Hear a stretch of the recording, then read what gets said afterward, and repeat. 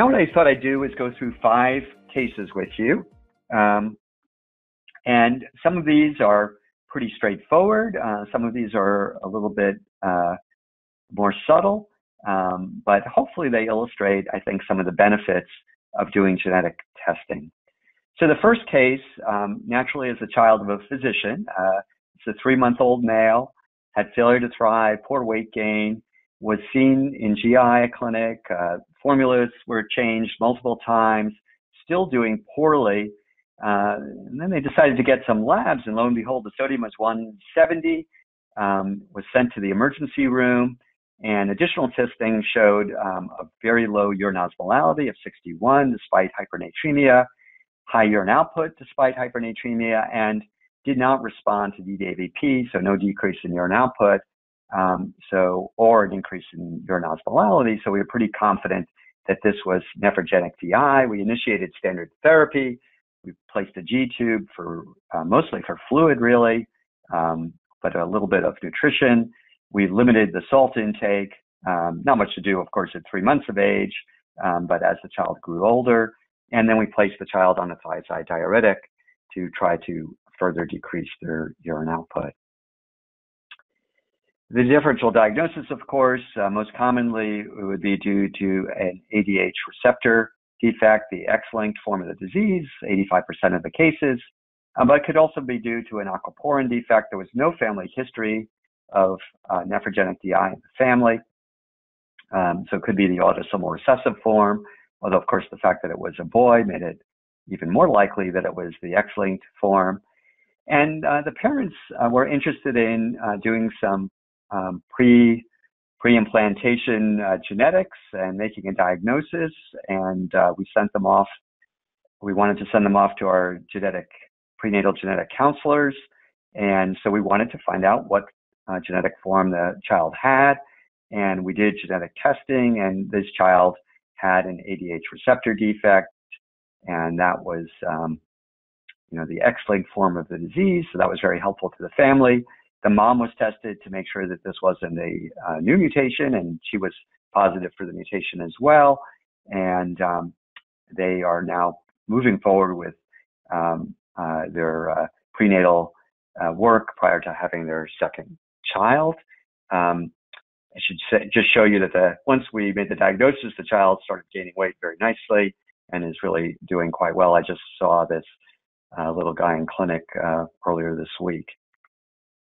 Uh, not all of these are my patients, uh, but that, that one happened to be one of my patients. The second case is, uh, was referred to one of my colleagues. This is a four-year-old male referred for proteinuria. Protein creatinine ratio was about 1.1. Had some polyuria and polydipsia, no salt craving. Had a normal renal ultrasound, normal complements, normal ANA, uh, normal calcium creatinine ratio. The urine protein creatinine ratio was 0.67 uh, when seen in our clinic and at that time had a microalbumin of 0.151, uh, 151 uh, uh, milligrams per gram. And um, the family history was very positive for kidney disease, uh, a great grandfather with end stage at age 65, a number of uh, maternal great uncles with end stage kidney disease, um, a number of other people, even the mom developed proteinuria during pregnancy, although it it's self-resolved. Um, and we have a, 24-hour urine pending uh, for calcium because um, all we had previously was the calcium creatinine ratio, which was normal, and you all know that those are not particularly reliable on spot collections. Um, and it turned out that this patient had Dent disease, so had a, a um, problem in the proximal tubule explaining the proteinuria. And uh, of course, this is uh, an X-linked disease and had a, patho- a known pathogenic uh, uh, variant uh, in the gene. So we had a good explanation, somewhat of a surprise, um, although one could have suspected it a little bit. So the next case um, is uh, pretty straightforward. Uh, really, this is a 16 year old with a two day history of abdominal pain and vomiting, was admitted uh, to an outside or went to an outside emergency room for dehydration, was found to have markedly abnormal labs and then sent to us. Uh, interestingly, the younger brother was had been diagnosed with Gitelman syndrome at three years of age. Um, and uh, this 16 year old had a potassium of 1.9, an elevated bicarb of magnesium of 1.1. Um, we ended up putting the patient on some potassium and some magnesium, and not surprisingly, the the older sibling had a diagnosis of Gitelman syndrome, so it was confirmed. And I think uh, this is a case where I think you know having a firm genetic diagnosis um, might have um, you know led to some screening of, of siblings um, at an earlier time point. The next case uh, is, uh, I think, a good illustration of how genetic testing can maybe uh, save some healthcare dollars. Um, this is a uh, patient who was referred at age 12 for persistent glycosuria.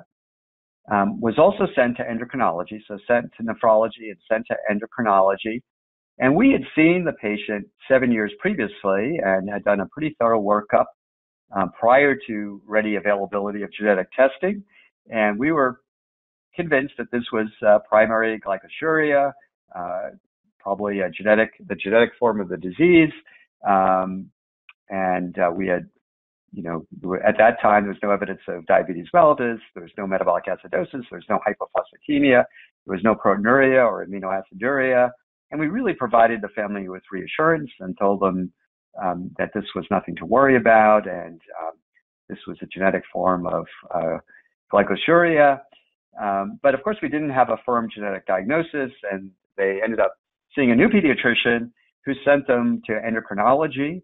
Uh, so they paid for a nice, expensive endocrinology consult, and the endocrinologist, of course, felt obligated to get autoantibodies and a hemoglobin A1C, and actually, I think sent them for genetic testing for um, um, uh, MODY, um, and uh, and then also sent them to us. So uh, had a, a uh, another nephrology consultation, and we did the genetic testing, and um, the patient was homozygous for one of the uh, two genes that classically cause renal glucosuria, um, and was homozygous.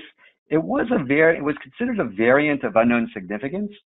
So it wasn't necessarily a slam dunk that this was uh, the explanation, although given the clinical history and given um, the fact that uh, that it was homozygous for this variant, we had a pretty high suspicion. Um, if we wanted to go further, we would have typically sent this patient to our geneticist, who would have uh, done some uh, additional exploration on the effect of the of the variant on the protein, um, and done some looking at uh, large databases.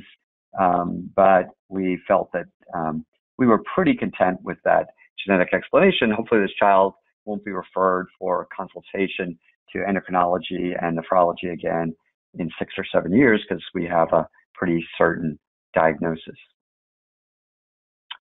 The final case is a very interesting one. Uh, this is a five week old um, who was admitted for failure to thrive, uh, had feeding problems and vomiting. And on admission, the sodium was uh, low at 132, the potassium was 6.1. And then uh, they didn't call us yet, but when the sodium went down to 129 and the potassium went to 6.6, they called us. Um, uh, serum creatinine was normal, renal ultrasound was normal, the aldosterone level was sky high, 3692, and uh, we initiated treatment with uh, decanting the feeds with Kayexalate and sodium chloride supplements. It turned out that the older brother had a diagnosis of pseudo hypoaldosteronism and was managed by the endocrinology service. But the endocrinology endocrinology uh, faculty on call uh, was a little uh, scared about taking on a patient with a potassium of 6.6, so asked us to take over this patient. Um, the older brother was managed just with sodium supplements and was actually weaned off of sodium supplements at age six. Uh, the initial aldosterone, I went back and looked at the records, was quite elevated at 652 in the older brother, but decreased on sodium chloride supplements to normal levels. And um, they took them off the sodium chloride. According to the notes, there was some salt craving initially, um, but then um, that seemed to go away, although I guess the kid probably liked to eat salty food, but not not for sure. So, what do you all think? What could be the explanation? Well, um, certainly sounds like pseudohypoaldosteronism. Of course, there's two types. Type 1, uh, the dominant form due to mineralocorticoid receptor uh, uh, genetic variant, and the recessive form due to variants in one of the three uh, chains of the uh, uh, sodium channel ENaC in the collecting duct, the three, at least the three chains where genetic variants have been described. Um, but the other possibility uh, in terms of pseudohypoaldosteronism would be Gordon syndrome or pseudohypoaldosteronism type 2, which can be due to any of four uh, gene uh, variants. And um, these are, uh, in general, dominant. Um, and um,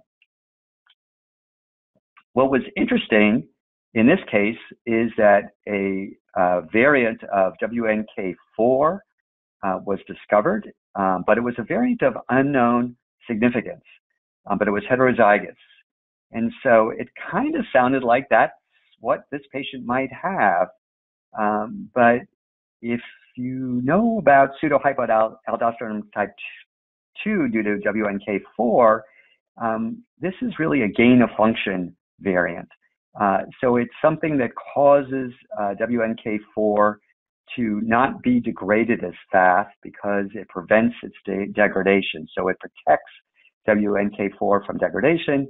Uh, the WNK4 then uh, causes the sodium chloride co-transporter in the distal nephron to be uh, overly expressed and overly active, and that's what causes Gordon syndrome. Also, it downregulates uh, the ROMK channel in the collecting duct, so that inhibits potassium excretion. And so, um, because it's a, a, a gain of function variant, it tends to affect only a small segment of the gene. You can't just have a deletion of the gene. That would not cause uh, the disorder. You have to have a gain of function variant. And so what I did was I looked at the gene and looked at where the variant was in the patient, and the variant is described in the literature, and it wasn't in one of those locations where one would expect it. And so we did not think that this variant of unknown significance was of any significance at all. It was just a red herring. Um, and that was supported by the very high aldosterone level, which one typically does not see in pseudohypoaldo, and also the clinical course of the older brother who responded nicely to sodium chloride uh, supplements, which would not be the therapy for um, pseudohypoaldosteronism type 2, which of course would be treated with a thiazide diuretic. So I think this is a great case for illustrating that um, when you get a variant of unknown significance, it could be significant, um, but it could be truly insignificant, a red herring. And if this patient had been treated for pseudohypoaldo type 2, that would have been the wrong therapy and it could have had deleterious effects. What's interesting in this case is we didn't find a variant that really explained why this patient had pseudohypoaldosteronism or why the brother had it. And so, uh, despite screening for all the appropriate genes, and so this may be a case where it was not detected. It could be that uh, the variant occurred in a place where, um, like an intron, where it may not be picked up, um, or some other area, or it could be that it was affecting a gene that hasn't been described. Um, but we're treating this patient just like the older brother was treated, and we will be following along. So, one of the great things now, as I said, is that there's lots of genes to be screened, and there's now affordable ways for doing genetic testing. Unfortunately, it's still somewhat cumbersome. You can't just type into your um, computer the test that you want to order, and magically it gets done. Um, there's a lot of paperwork to be sent. Um, there's samples that have to be sent directly to a genetic testing lab. Um, uh, you have to get consent from the parent. And so this we found was a bit of a barrier and certainly made it uh, disruptive during clinic to try and do this when you're busy trying to see patients. So what we've done is we've really formed a great nurse physician partnership in our practice. And this might be something that you might try in your practice to make getting genetic testing easier. Um, what we do is the physician identifies the candidate patient or our APP, or one of our APPs, um, and then discusses genetic testing with the family. You know why we're doing it, what we might find, um, what what unexpected things we might find, um, uh, potential costs, etc. And then if the family agrees, uh, the physician just communicates with the nurse and says, I'd like to do this genetic test. And then the nurse really takes it from there. Uh, they provide, they have uh, pre-filled out forms uh, with everything that we want checked off. We always screen for variants of unknown significance since they may sometimes be significant. So that's something that I would recommend doing. Um, and that's all pre-checked off. Um, we then complete the parts of the form that we need to complete, the clinical, the clinical history, um, which is really just a, a few brief uh, words. Uh, then the nurse goes back and obtains the written consent. She then works with the physician and the family to determine the best way to obtain the sample. We either get saliva or blood. We mail kits to families if needed. If the family is having blood drawn that day anyway, clinically, we'll place an order in and uh, send the kit down to the lab with the family, or the nurse will facilitate that. If they're at home, she'll facilitate a way of getting it done. And really, the nursing staff are doing all of the coordination. And so that's getting off of our plate. And so we can focus on uh, the selecting who to do the screening on and interpreting the tests. Uh, so once we get the result, we make sure it gets scanned into our EMR. We use Epic, so it's available to everybody. Um, we share the result with the family. Um, and then if genetic counseling is indicated, uh, we uh, make sure that the family receives appropriate genetic counseling. And that, that process, this partnership with our nursing staff has really made it a whole lot easier to get the genetic testing done. And so we've really been able to dramatically increase our genetic testing over the last two years through the combination of affordable genetic testing and a good system for getting it done.